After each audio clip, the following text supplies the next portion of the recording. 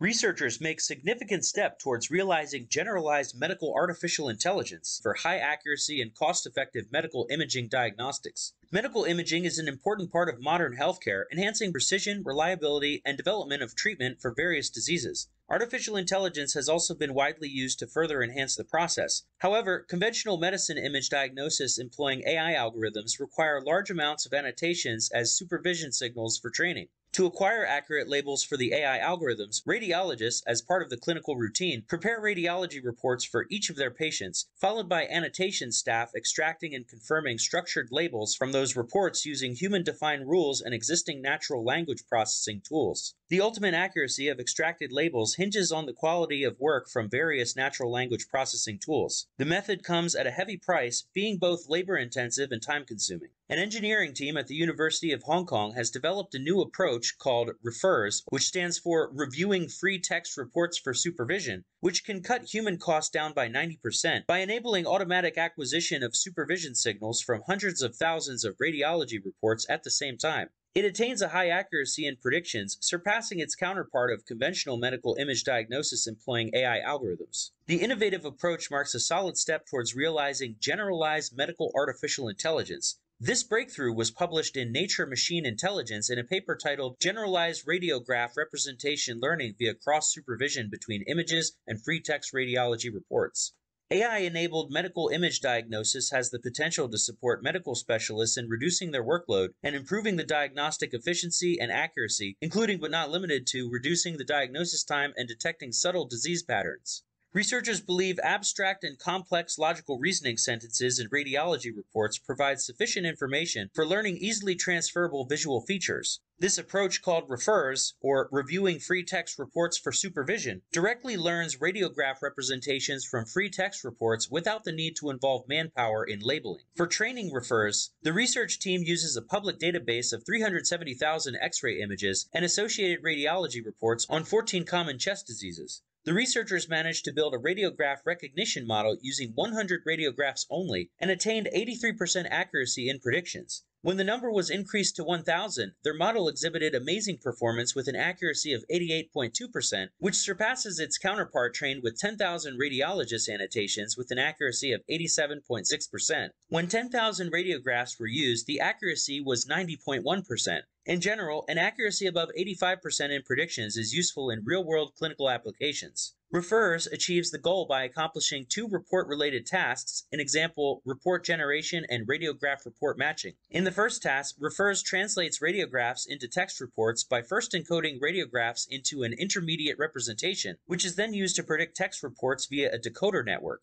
A cost function is defined to measure the similarity between predicted and real report texts, based on which gradient optimization is employed to train the neural network and update its weights. As for the second task, refers first encodes both radiographs and free text reports into the same semantic space, where representations of each report and its associated radiographs are aligned via contrastive learning. Compared to conventional methods that heavily rely on human annotations, Refers has the ability to acquire supervision from each word in the radiology reports. The amount of data annotation can now be substantially reduced by 90% and the cost to build medical AI, which marks a breakthrough step towards realizing generalized medical artificial intelligence.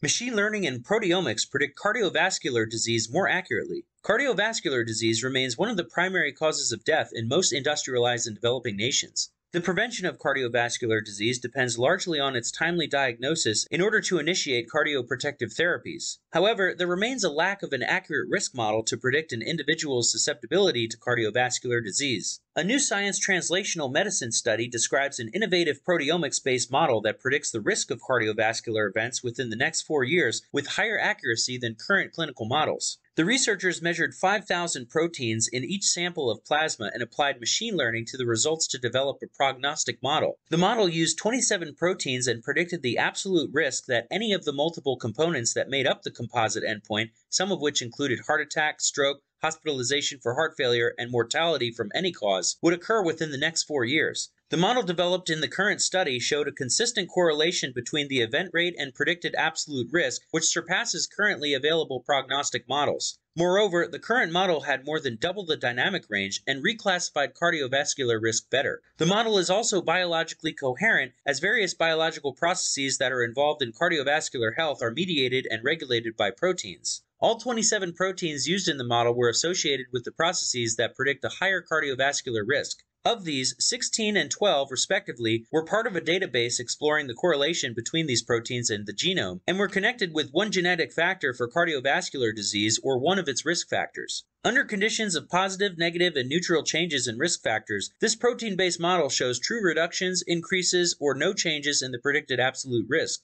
When other conditions associated with an increase in cardiovascular events were incorporated to the analysis, including smoking and diabetes, the model continued to predict elevated risk correctly. It also predicted that untreated high systolic blood pressure and high lipid levels in the same group would enhance the risk. This shows that the surrogate is universal and will respond to a change in outcome irrespective of the mechanism. This multi-protein model is also more sensitive to risk factors than individual biomarkers. Further work along the same lines may provide a very necessary universal surrogate endpoint for cardiovascular risk.